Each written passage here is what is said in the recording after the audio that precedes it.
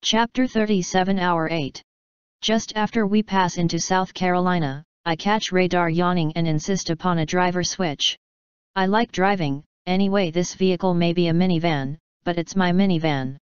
Radar scoots out of his seat and into the first bedroom, while I grab the steering wheel and hold it steady, quickly stepping over the kitchen and into the driver's seat.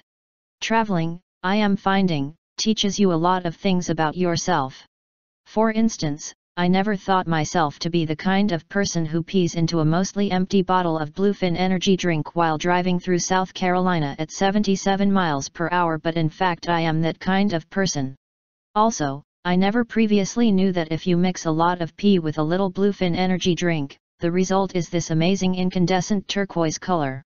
It looks so pretty that I want to put the cap on the bottle and leave it in the cup holder so Lacey and Ben can see it when they wake up but radar feels differently.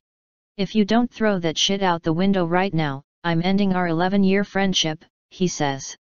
It's not shit, I say. It's pee. Out, he says. And so I litter. In the side view mirror, I can see the bottle hit the asphalt and burst open like a water balloon. Radar sees it, too. Oh, my god, Radar says. I hope that's like one of those traumatic events that is so damaging to my psyche that I just forget it ever happened.